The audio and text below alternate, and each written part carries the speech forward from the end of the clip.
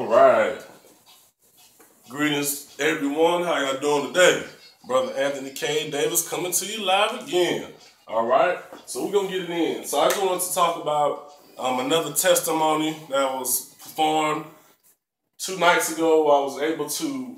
Um, I did my spiritual reading for myself and um, you know my family, and we had some really good messages. So what we what happened was the animal totems of the monkey and the elephant came up, and that was real good. So I went ahead and pulled out my Hanuman statue as well as my Ganesh and another um, Kemetic monkey deity, right?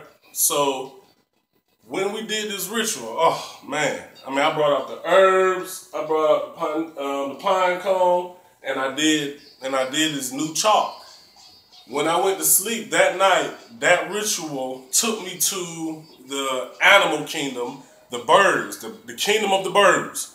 All right, and from there I was able to see all type of birds. I mean, I was looking at owls, pigeons, ravens, doves, quills, guineas. Like, I mean, so many birds, I can't even name them all, but you get the point.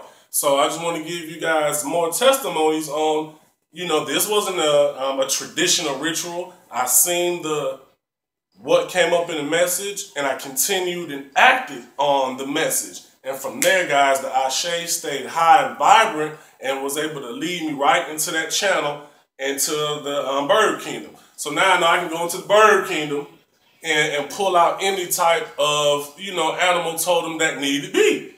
You see, also came back with a really powerful ritual that um that goes along with your home, things you can do with the animals to guard your home. Man, that's all type of powerful stuff. You know, birds have a lot of messages, so um, they carry things. There, and it's also the spirit of um, ancestor because it's a chant we do. Ancestors take flight on a feather, featherless flight.